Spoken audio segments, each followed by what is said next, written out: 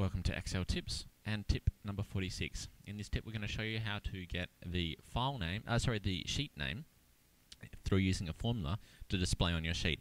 Now, one of the important things to note before you do this is you'll need to actually save the workbook, so if you haven't saved the workbook to your desktop or whatnot, um, this won't work, it will just show hash value. So the formula is actually pretty simple. It looks long and complex, but it's pretty simple.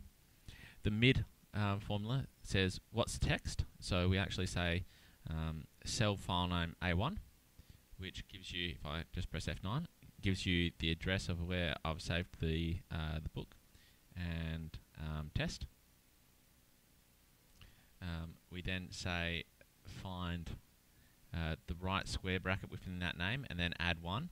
This will give us our starting location, so you'll see it's 53 um, and you'll see that says start number. If I then highlight the next section, this is basically saying find the length of that full name, so it's going to be 56. So you've said, right, we're going to start at the 53rd um, character. It's 56 long, and then we've gone, right, well, how long is um, it up to just that square bracket, which is this next section, which is going to be 52 cells.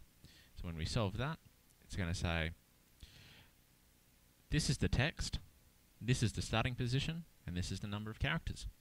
So essentially, it's going to start and return test. Um, if I just hit escape and paste that back in, you see it's got test. Now, A1 can be anywhere in the sheet. As I said, file name, just make, need to make sure that the file's been um, saved and uh, everything will be good to go. And you can automatically put um, the sheet name into your header or use it